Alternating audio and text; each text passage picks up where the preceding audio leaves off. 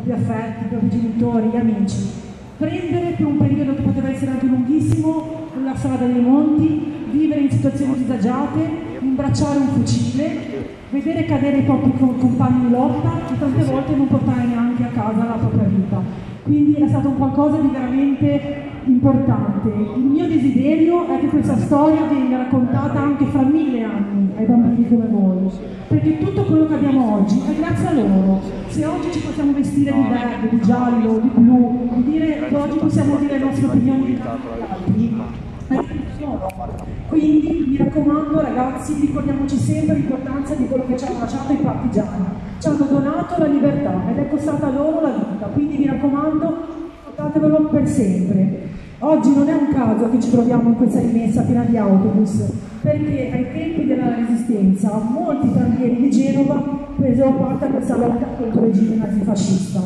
L'autista ha un ruolo che non mi stanco mai di dirlo quando qualche ragazzo vuole diventare autista, un ruolo fondamentale come valore sociale. E mi aggancio a questo ragionamento, vorrei raccontarvi una storia brevemente, una storia che ho conosciuto pochi mesi fa, quando in occasione della giornata per la memoria ho letto un libro che si incuriosita dal nome, il nome era Un tram per la vita.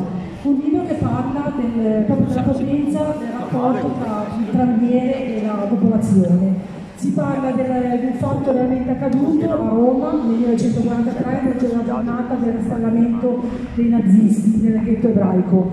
È la storia di un bambino e della sua mamma che, salgono, che vengono catturati dai tedeschi su un camion.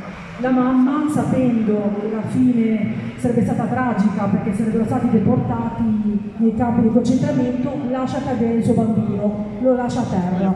Il bambino, rendendosi conto di essere perseguitato e conscio della sua condizione di diverso, perché purtroppo gli ebrei in quel momento erano considerati così, fa il uno dei luoghi che conosce, va da un tram, da un tranviere, dice al bigliettario di essere ebreo e chiede di essere protetto.